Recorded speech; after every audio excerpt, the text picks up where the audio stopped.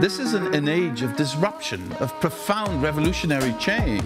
What we're really asking ministers is to empower the ambassadors. The only thing that you really push forth is the truth. You don't see many women represented when it comes to the decisions as to how to handle the pandemic.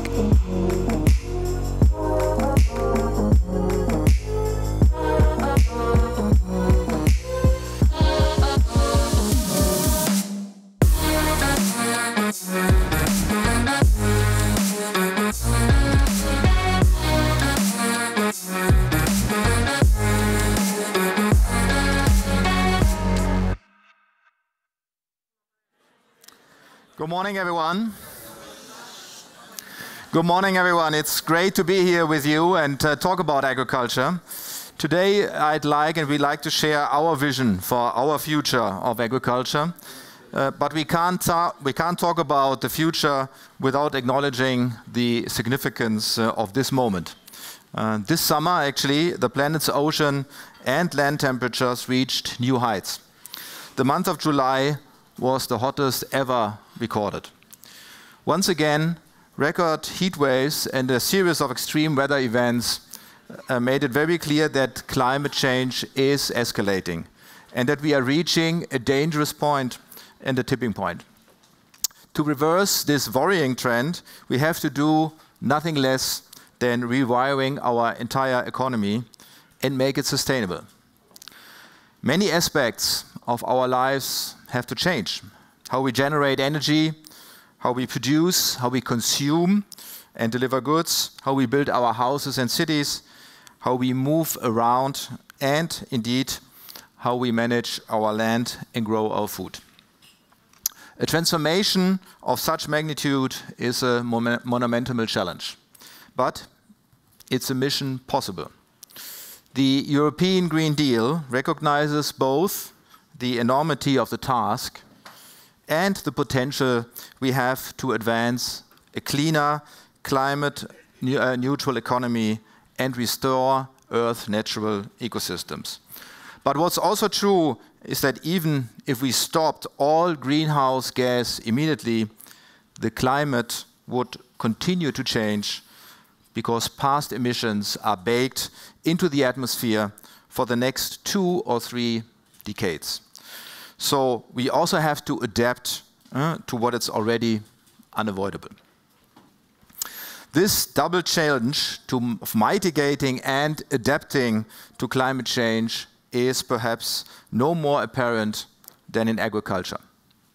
Agriculture is a major contributor uh, to climate change, but it's also at the same time heavily affected by it.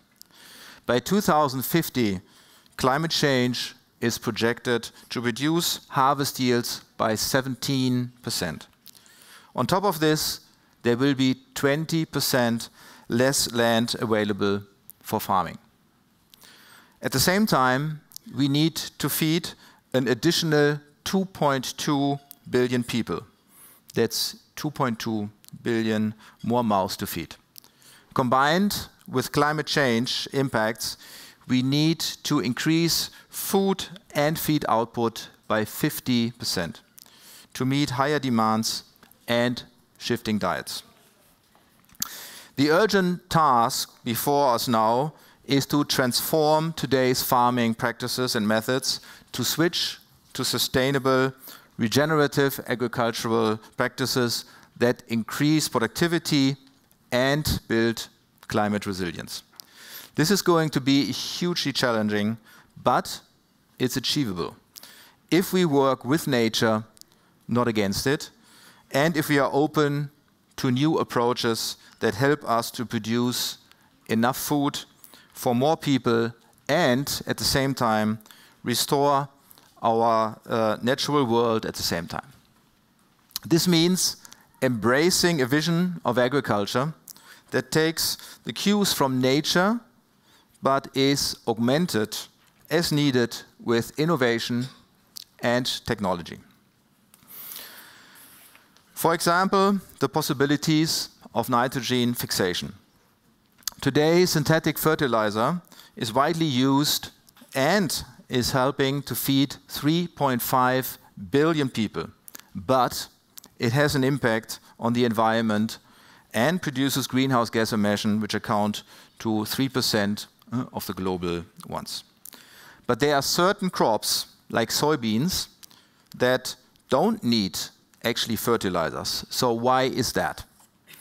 Because on their roots are tiny microbes that pull nitrogen out of the air. And so they produce fertilizers for the crop for free. By using new technologies, gene editing in this case, we can now recreate the genetic code of this microbe on soy and add the same trait to other staple crops like corn, wheat, and rice. This way, we can give them the ability to naturally produce fertilizers too. By borrowing insights from nature, a solution like this has the potential to revolutionize agriculture because it would largely displace the need for synthetic fertilizers altogether and so to help uh, reduce pollution and bring, uh, bring down greenhouse gas emission significantly.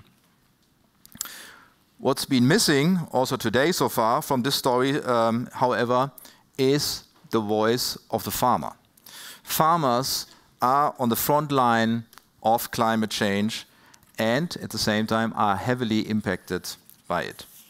As it turns out, farmers are also key allies in tackling the climate crisis. They are willing to embrace change and are eager participants in driving the transformation to a more sustainable future. So how do we know all this? Because we asked them. In a global survey conducted in eight markets, farmers from around the globe shared their views with us. So what did these farmers tell us? First, farmers are already living with climate change. It's impacting them right now and today and will continue to impact them. 71% say climate change has a, a large impact on their farm already today. Second, farmers are adapting to climate impacts already today. 65% seeking new technologies to adapt their farm and their practices to climate change. And even more, they are aiming to be part of the climate change solution. 84% intend to apply practices to directly reduce greenhouse gas emissions. Fourth, farmers, no matter where they are, told us that innovation was critical to build resilience and grow their business. Just over half say they need innovation in seeds and traits and new modern crop protection products to better cope with extreme weather conditions. So what this tells us is farmers are resilient and optimistic about the future, but they are looking for access to new solutions, new, te to, uh, new technologies, and more innovation. And above all, their voice to be heard. And they need combined action uh, from industry, government, and consumers worldwide if they are going to continue to grow and leave the world in a better state than before. So what can companies like Bayer offer farmers and how can we help drive transformation in agriculture? The short answer is science and scale. With our innovation pipeline and our global reach, we can respond to farmers' needs and deliver the kind of solutions they are looking for, which meets the expectation of society at the same time. Our view is that the future of farming is regenerative because regenerative practices offer a way to improve productivity on the farm and benefit nature at the same time. This approach treats each farm as an ecosystem by itself. Put simply, for us, regenerative agriculture is about producing more and restoring more. And it's focused on a key set of outcomes. The goal is to help farmers achieve higher yields and productivity, higher incomes for them and their families, and better livelihood. And for nature, recover and thrive, which includes limiting the further expansion uh, of farmland and mitigating climate change.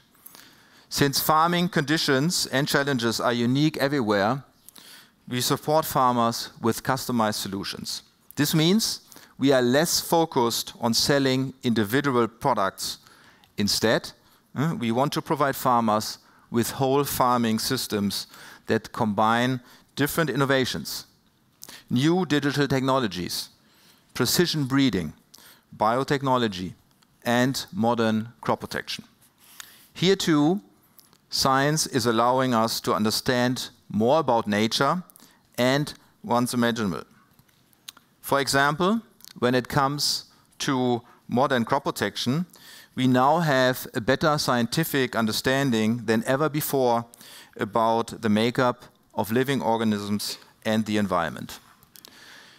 Using artificial intelligence, we can now quickly and accurately identify a single protein that is unique to a specific pest. And then design a molecule that will inhibit this particular protein and this protein only, according to safety and sustainability profiles.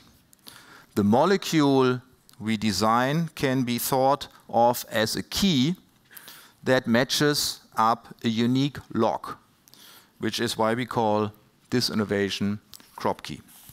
This new approach of crop protection means that we can control a specific pest without affecting any other non-target species. It's a potential game changer in agriculture, going above and beyond current standards, and can help to greatly minimize the impact of crop protection products on the environment.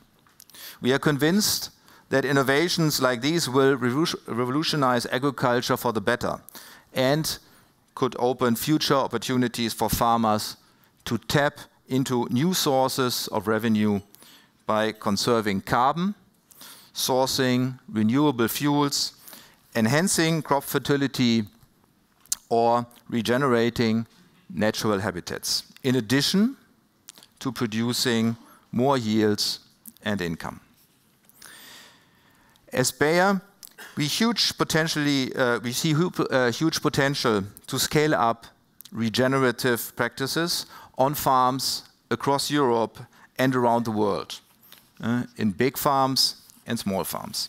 By the middle of next decade, Bayer envisions shaping regenerative agriculture on more than 160 million hectares globally, built on the foundation of its leading agricultural solutions.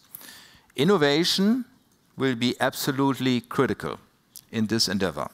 That's why we are investing heavily in new solutions and technologies. Last year, we spent 2.6 billion euros in research and development in crop science alone to develop new sustainable products. We believe that Europe can play and has to play a leading role and become a global standard bearer when it comes to sustainable and regenerative agriculture. We are committed to Europe as a center of scientific research and development, especially in the area of modern crop protection. And that's why we just announced a 220 million investment in our research and development facilities in our headquarters in Monheim, Germany, to develop the next generation of crop protection made in Europe.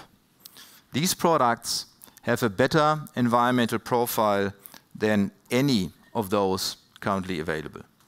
It's clear, however, that no single company or organization can tackle global challenges like climate change or food security alone. We need strong partnerships between the public and private sectors and amongst all key stakeholders from across the entire food and value chains, with farmers being at the very center of it. Because only together we can thrive the fundamental um, um, transformation that is needed to make sustainable farming a reality. It is our hope that a future uh, in which sustainable and regenerative agriculture is the norm will allow farmers to improve their benefits and those of the communities they serve, while at the same time protecting and nurturing our natural world for future generation. Thank you very much for your attention.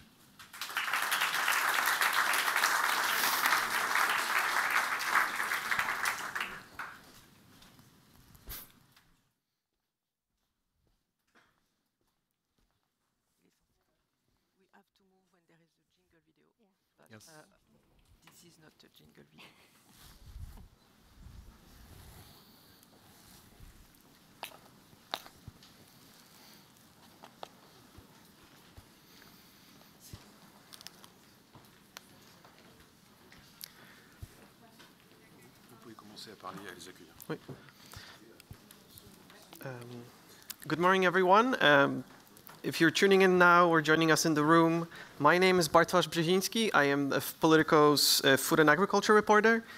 And uh, this session will be focusing on crop protection, ensuring a more sustainable use of pesticides, plant protection products. Um, before I introduce our panelists, don't forget to use uh, the Swapcard app to ask your questions. If you are in the room, scan the QR code on the screen. And if you're following online, please check the instructions on our event website. You can also tweet your reactions at Live Politico using PoliticoAgriFood hashtag. Mm, so without further ado, uh, joining us in the room from the left, we have Marta Messa, Secretary General of Slow Food, a network that promotes local traditions, local culture, local, local food cultures, sustainable um, diets, and healthy eating. We have Johan, uh, no, MEP Irène Tolleret from uh, Renew Europe, and she's a French MEP. We have further on, we have Johann Meyerhofer. He's the head of the crop protection section of Deutsche Bauernverband. I will switch to saying German Farmer Association, the largest farmer association in Germany. And to his left, we have Rachel Rachel Rama. She's a global head of small molecules at Bayer. She's a scientist working on crop protection products.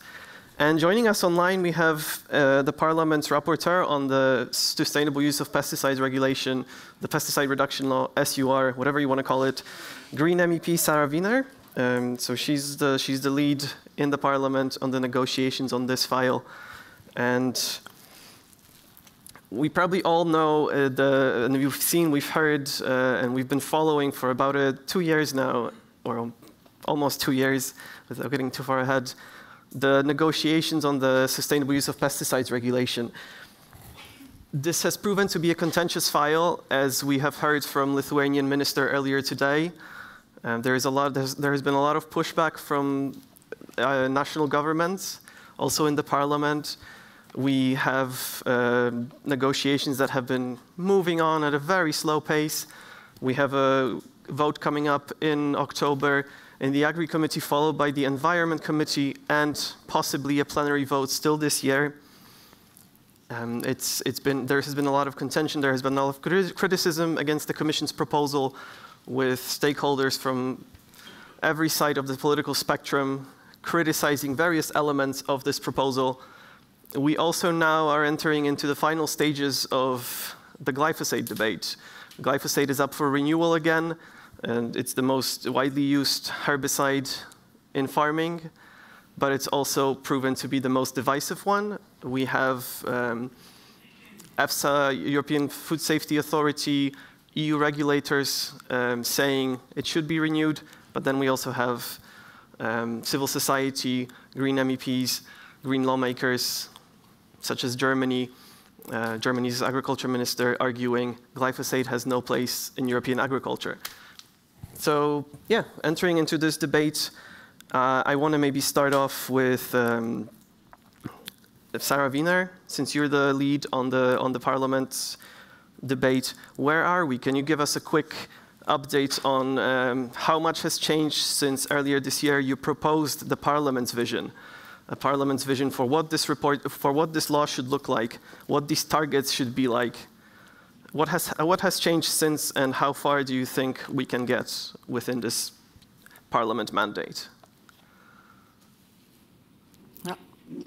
Good day to everyone. I just wanted to uh, say, first of all, we need this SUR because um, we need to reduce pesticides. We have uh, we face biodiversity crisis and climate crisis. We have a, a pollution problem. We have a, loss of fertile soil. So there's no question that we need uh, reduce pesticides and uh, we are still in the negotiations and it's uh, going very um, slow to say but we make progress and we will see what's coming up i don't want to speak now on details because we are still in the process and we negotiate every week so i'm very hopeful that we will close and have um, um, something substantial maybe then in November when it's uh, the votes are going uh, in the plenary.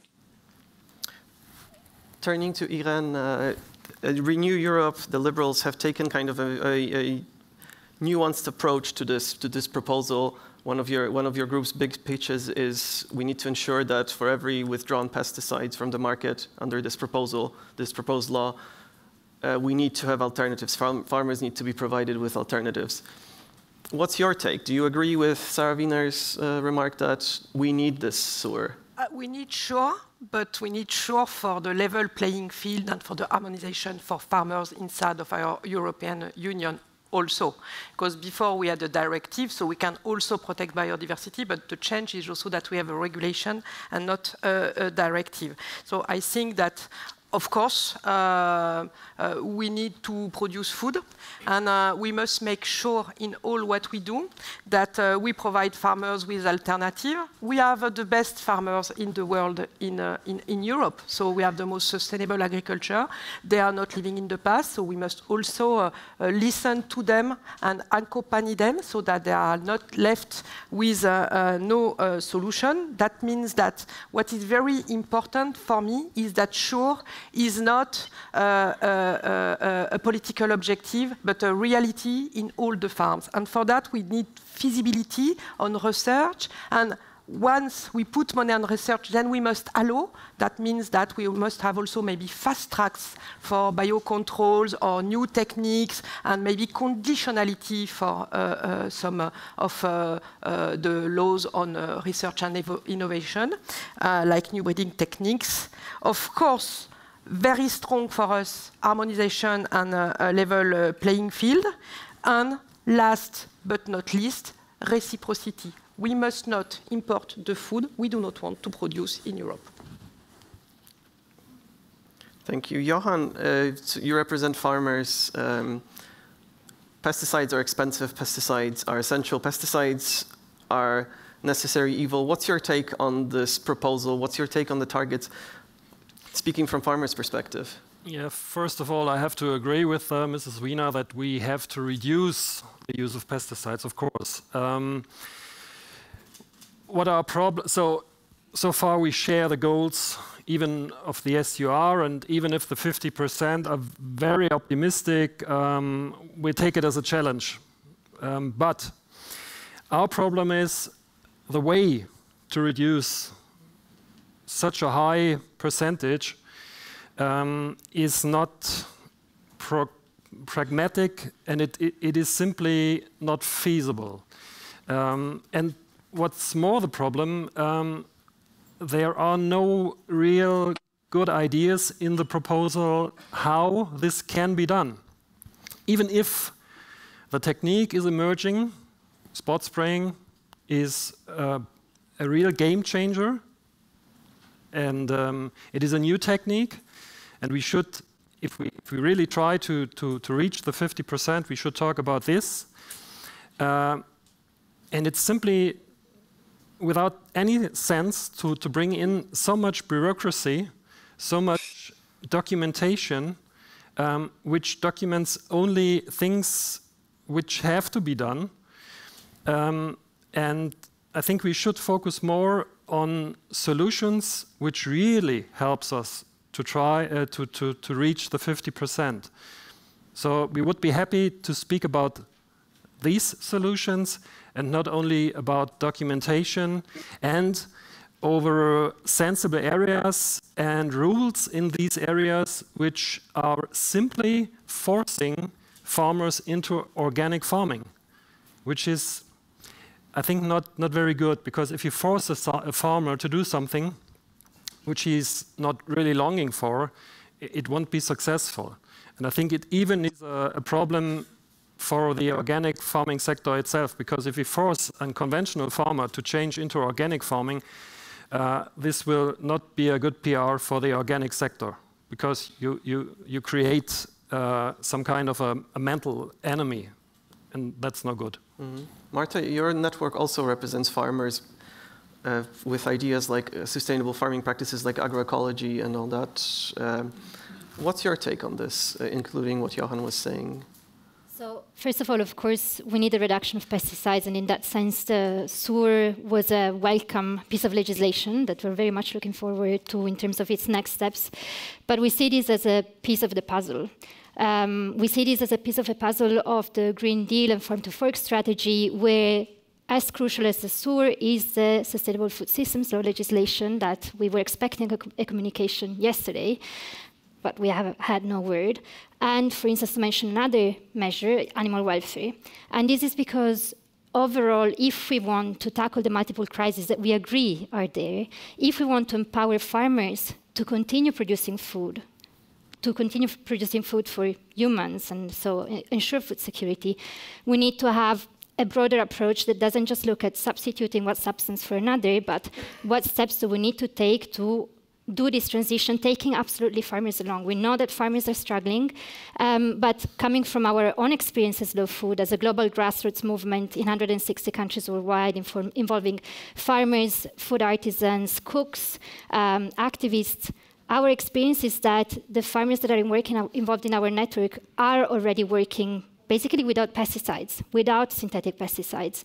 They do not need them. They are not interested in them. And that's not because they're substituting that for another substance, but because there is this approach to farming that is comprehensive and it's the agroecological approach. So where you're having a connection to the field you work with in, you have a connection with the animals you farm, um, you work with food biodiversity. That's also something very important that we've been working with, and we can go back to that. But essentially, it's an overall process. And in that sense, um, it, we, in taking the farmers along in this process, and I agree, we do not need to force farmers, but if you look at what the CAP, the most resourceful policy, has been encouraging in the last uh, 30 years more, uh, has been a certain kind of production. This is not to say that farmers were not free to choose, but subsidies go a long way. So do university courses. What are we teaching in university courses when it comes to agriculture? So do advisory services play a big role in showing farmers what are the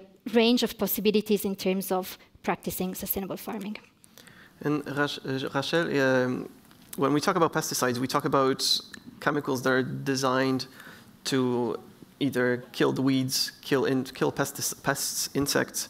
Um, and there are, of course, concerns raised uh, by green lawmakers, civil society, as well as scientists. Uh, not all scientists, but at least a, a certain um, sector of, of the scientific community around the health and environmental concerns that we're still kind of playing around with fire here as a scientist working for a company that manufactures these chemicals, how do you, how do you respond to these kind of questions and, and concerns? Yeah. And just to come back on the policy, we are a lot discussing about reducing the use of the, of the plant protection product. But maybe we can discuss a little more uh, outcome-driven, meaning uh, to reduce the impact on the environment of the, the, the product. Uh, because removing, the removing crop protection product, you remove a key tool in the toolbox of the, of the farmers. And today, crop protection is uh, safeguarding 30% of the yield overall eh, in, the, in the world. It's the food for 2 billion people. So crop protection somewhere, somewhere is, is, a tool and it's, it's completely essential. But uh, we understand also that we have to evolve and, and uh, make evolve the, the, the, the, science we are having. And um, else, environment and everything is not incompatible with crop protection. I'm spending my whole days with my team to think about what can be the, the, crop protection of the future. What are the next generation? How it can be more sustainable? And it's what we are doing and we already have had, uh, uh we are working with new ways of doing science that we call CropKey. And there is a lot of new tools everywhere uh, intelligence, uh, artificial intelligence, uh, machine learning, and everything that we can use in our labs to open up new research field. And it's what we are doing. And we are now very precise on what we are doing in the labs for the new mode of action, because we need new mode of action for the, for the crop protection, but also to design the molecule we are doing. And, and this precision is not only on the molecule that we should have to avoid that there is effect on non-target organisms, but also the way we are using them. And you were talking about the spot treatment. We are developing a lot this precision application. Now we are able to scan uh, a field and to spot where the weeds are, and after to send a robot or, or, or a tractor which is able to spray only on the weed. So you have, you have far more less impact of the crop protection. So I think that we should think a little more about how to reduce the impact of the crop protection and not to remove a tool that the farmer needs. And honestly, uh, uh, if we do that, it can be really revolutionary. And it's, and I have to say that it's not easy. Eh? Because we are working on it. We are more than 1,000 working on that question currently in Bayer, and it's not easy. It's super ambitious to, to find a new uh, crop protection product with less impact but we are dedicated to, to do it. And uh, the first one are going to be on the market in 2030. So, turning to Sarah on, on the screen, uh, you've described this proposal as the Commission's proposal as a, as a, as a kind of the, you've, you've in outlining your report, your take on this, um, you, you described some certain flaws in this proposal, and you actually even stepped up the ambition further uh, increasing some of the targets for the most toxic pesticides, um, increasing increasing some of the some of the rules, um, the stringency. What about the arguments, including from Johan here, um, who, who's and Rachel just now, that this this law could could also risk having an immediate impact on farmers by taking away the tools that they need, by um, putting these these kind of requirements on them that that increase the burden, that's where farmers are already taking the effort, making the effort to, uh, to, in, to introduce practices, more sustainable farming practices. Um, do, you do you agree with that assessment?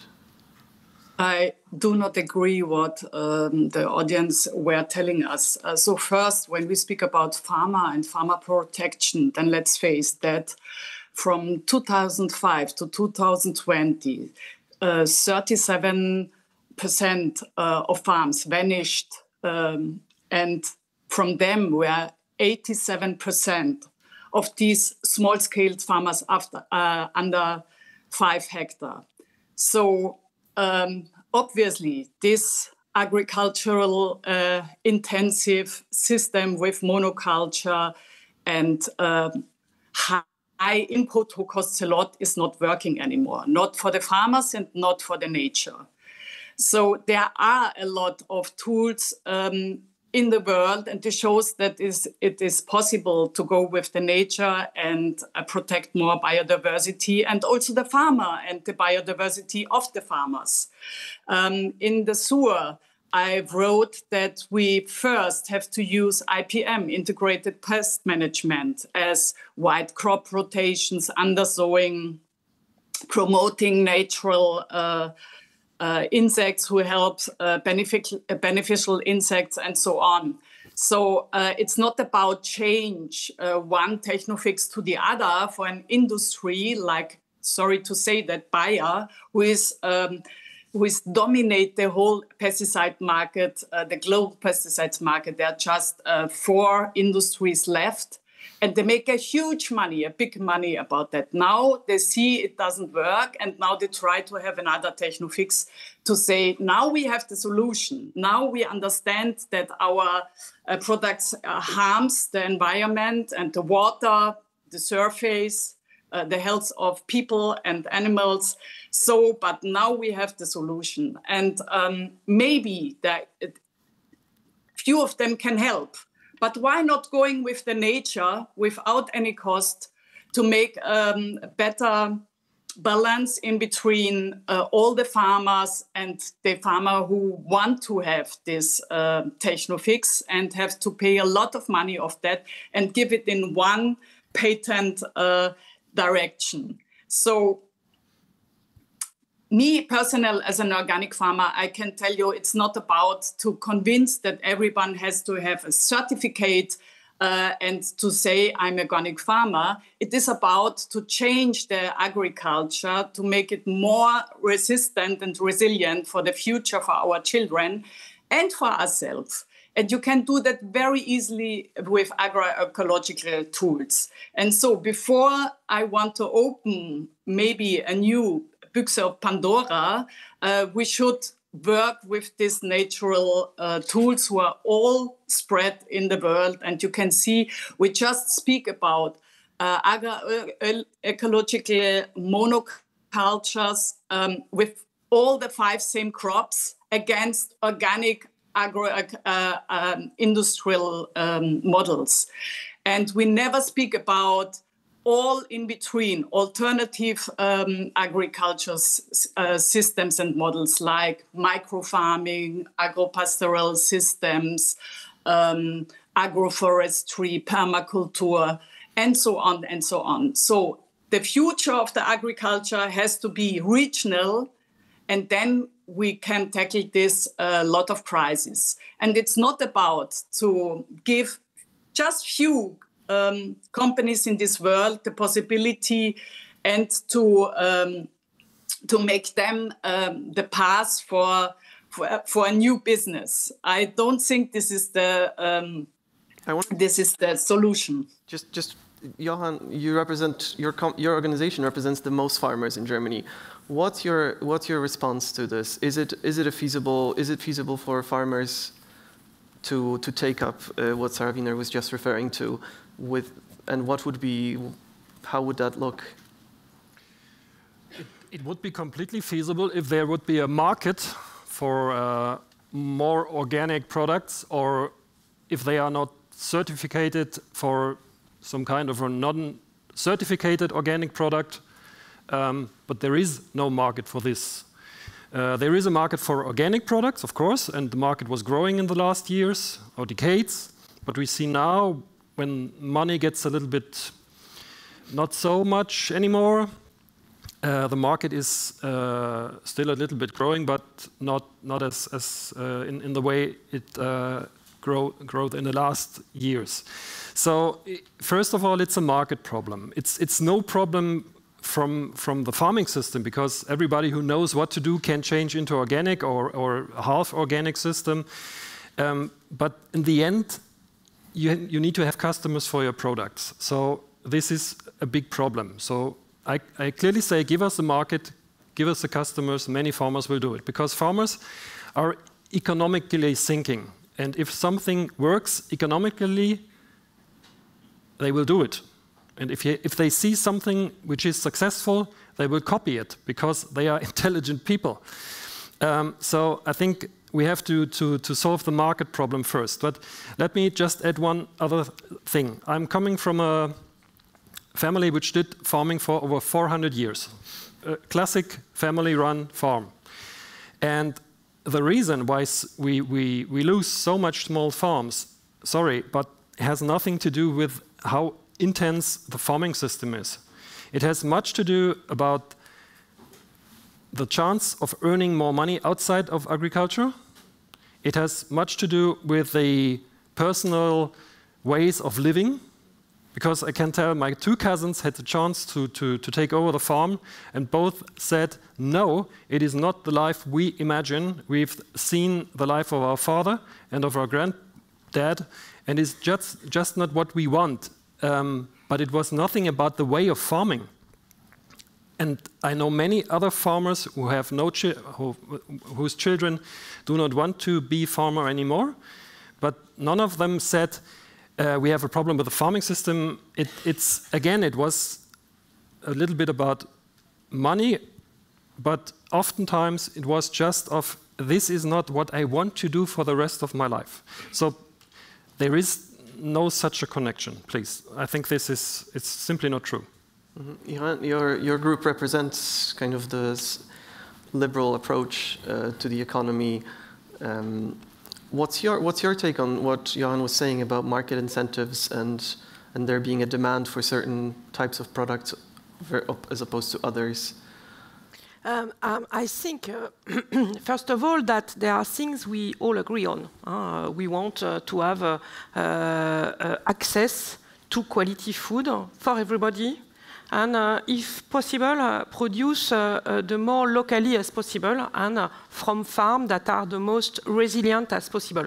And to come back on uh, what uh, uh, Sarah was saying on agroecology, I mean, CAP Money and Farmers Association have been funding studies and research to just look at how to use less pesticide for years. I come from the south of France. We have been working to develop resistant varietals. It took us 20 years and it started, started with uh, vintners uh, looking at uh, varietals in their vineyard. So the wheel is common. But then after, we must not shy away from facts and figures.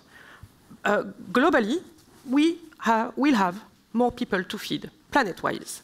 And it happens that Europe has a temperate climate and very good production capacities. So uh, we have a feeding uh, role and our agriculture. I'm quite proud that Europe, especially at this moment with all the uh, food crisis that has been revealed by uh, the Ukraine war, that we stand by our responsibility in terms of uh, uh, feeding people. So it's very important that we look at the fact that we have to produce more and we decide how do we produce more? Is it by intensivity or is it by deforestation? Because if we do not produce more on the different arable lands, it means that we will need to create new arable lands. So we must not shy from our responsibility. Second point is, if we uh, decrease our yields, then the price of the food will increase. And we, at the moment, have a huge problem of uh, people that work uh, two income salaries in Europe that have difficulties eating. So it's very important that we do not shy away as legislators the from the consequences of our legislation on the price of food. And the uh, third point was that, sorry to say that, uh, but it's not because a pesticide is natural that it's good for the, the, the environment. At the moment, I hope that Sarah will help me on my uh, fight against the insecticide that are called pierre vert or pyrethroid.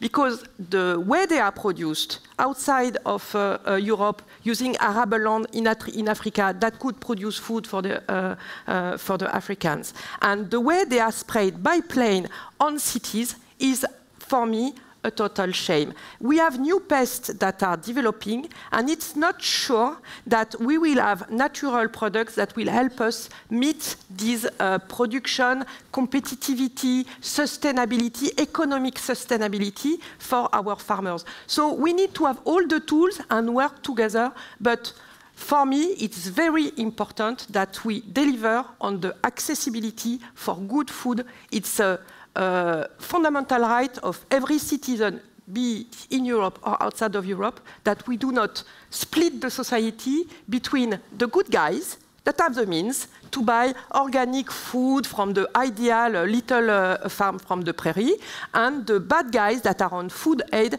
that uh, eat imported food that is produced with precisely all the things that we forbid in Europe. Marta, you've been taking notes this whole time. We have. Let's keep the applause for after the session finishes. But uh, Marta, you've been taking notes this whole time. Uh, how do you respond to this, including Europe? You come from a global network uh, to this idea that Europe has the responsibility to, to, to, to, to feed the rest of the world because of its capacity and. I would like to challenge that assumption and the assumption that uh, there is issue of lack of food. UN data demonstrate that we're producing enough food nowadays to feed the world. It's not an issue of lack of food. The issue is access to land, access to seed, access to water, and distribution. Um, since the start of industrial agriculture, yields per hectare have been shooting up, have been increasing, but so has world hunger. So this demonstrates there is not an issue of lack of food. The issue is who has the access. And if we look at our network, for instance, in Africa, and all the issue of land grabbing, land that is being grabbed for producing feed for animals, or producing feed for biofuels, or produce, sorry, producing crops for biofuel, or producing crops for export, that has nothing to do with ensuring food security in those regions. The other thing I would like to say, there is another data that tells us that something is off. Nowadays, Europe wastes 20% of the food it produces, and most of it happens at primary production level, not at consum consumer level. This is EU data. I just EU data from uh, uh, last uh, beginning of September. It's very clear. I can show you. It's not true. The biggest waste is at consumer level, and then it's at distribution and transformation level, okay. and then you have at the producer level. I'll finish. So I took this data from a Eurobarometer October 2022, but happy to look into the more up-to-date data. Matter of fact, we are wasting 20% of the food intended for human consumption. So again, the issue is not the lack of food, the issue is the distribution. So no, we have been challenging together with other civil society organizations the idea that we need to produce more because this is exactly what is making industrial food systems contribute to more than one third of the carbon dioxide emissions and to climate change. That is why I was saying we need, and we believe strongly, we need a different kind of change that it's, it is, of course, for many difficult to understand, okay, how do we, what are the steps we take? But that's why I was talking about all the tools we need, and I don't just mean the tools in terms of pesticide production, pro product, uh, pesticides uh, product versus another pesticide product. It's about what are we teaching in schools when we talk about agriculture? And nowadays we're teaching industrial agriculture and essentially the conventional status quo. What are our advisory services saying on the ground? Where is the CAP money going? Because nowadays what we also should say is that yes, it is there is no free market in Europe because it is true that CAP subsidies are subsidizing a specific kind of agriculture. The last revision of the CAP has not helped in going in the direction of a more environmental, a higher environmental ambition. And ultimately, yes, it turns out that the products that are produced with less negative externalities are the ones that are receiving the least support. And so, yes, they end up also being more expensive in the market. So, I just want to quickly, because we're running yeah. out of time, uh, and I see we have some questions from the audience coming in. I wanted to quickly also turn to Sarah Wienerbeck uh, with the SUR coming up for a vote um, um soon and you're the rapporteur, so technically you represent the entire parliament.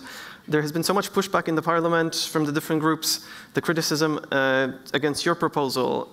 If, if the proposal that gets adopted in plenary isn't what you've proposed, but follows in the direction more of the groups like EPP, Renew Europe, uh, will you still support it and will you still fight or will you still uh, represent the parliament with that joint position in the trialogues should we get to them before the end of this mandate? So um, if we go uh, more in the direction of EPP, uh, so it will serve for nothing because they want to have goals under the SUD. So um, I think we have to look at it, what comes out in the end. But of course, I I, as a rapporteur, uh, have to defend the majority in the parliament. So let's see. This is uh, just theory, what we are talking about. Let's see what's coming when we come then to, to the end of the negotiations. Then I can tell you clearly what I'm thinking of this.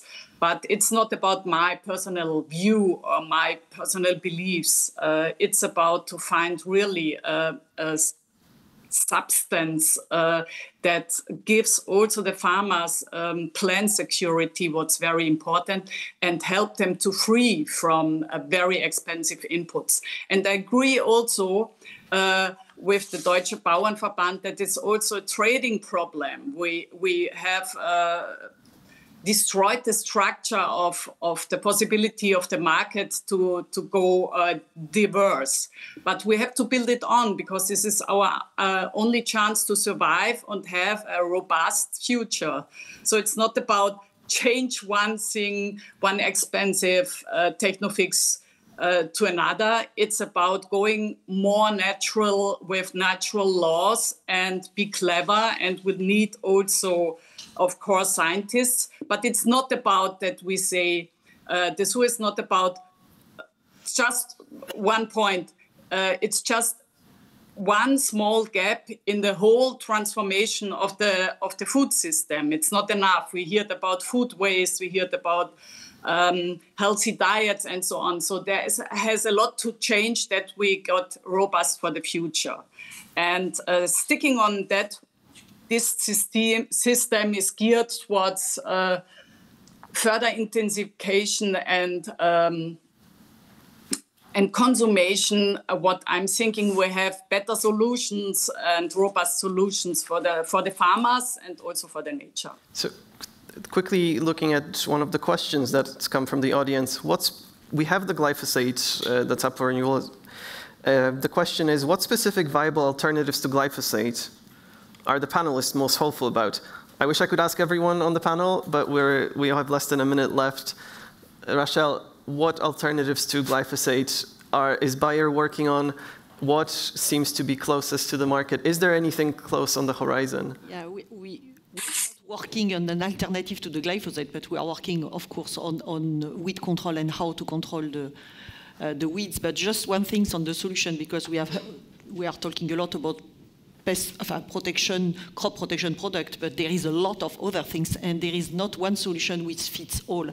One field, one farm is one ecosystem, and I think that we need to be smart on choosing which kind of solution we can have. Sometimes it's, it's, a, it's possible to do uh, organic farming, but sometimes it's not, and we know that currently with the climate change, unfortunately, the farmers are, are really facing more problems, severe problems with pests and, and disease. So sometimes uh, one solution is going to work, another one, and what we want to propose is a system, and we should go for a system, I think, and not just one solution. We're out of time. I wish we could continue this discussion to, to, to dive more into the issues. Um, thank you to everyone on the panel. Thank you for, to the audience. Thank you for the online questions. Um, we will have a networking break, a short networking break taking place now, and later Eddy Wax will return to the stage to moderate the session on farmers of the future. So don't walk too far away, but do enjoy the short uh, networking break.